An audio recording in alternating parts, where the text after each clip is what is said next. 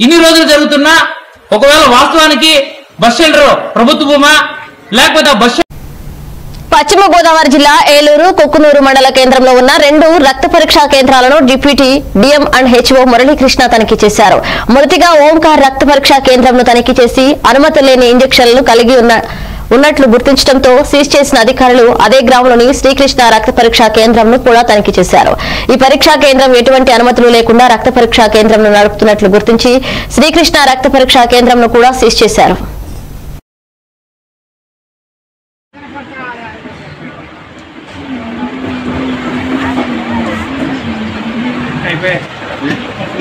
Raju?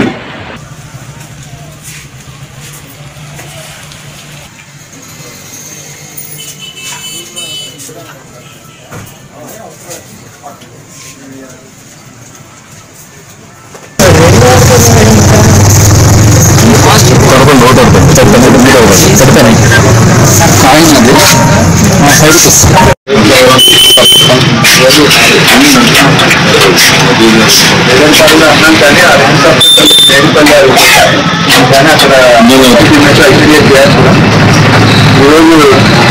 One week back మాకు complaint వచ్చినాయి media media మీడియాలో కుక్కూరులో ల్యాబ్ ల్యాబ్స్ కొంచెం ప్రాబ్లమాటిక్గా ఉన్నాయి బాంబు ఇన్వెస్టిగేషన్స్ ఇస్తున్నారని చెప్పి కంప్లైంట్స్ వచ్చాయి ఆ కంప్లైంట్స్లో బాగా ఈరోజు ఎంక్వైరీకి వచ్చాము చూసాము ఫస్ట్ ఓంకార్ ల్యాబ్ అని చూసాము ల్యాబ్లో అన్ని సర్టిఫికేట్స్ అండ్ ఇన్వెస్టిగేషన్స్ పరంగా బాగానే ఉంది.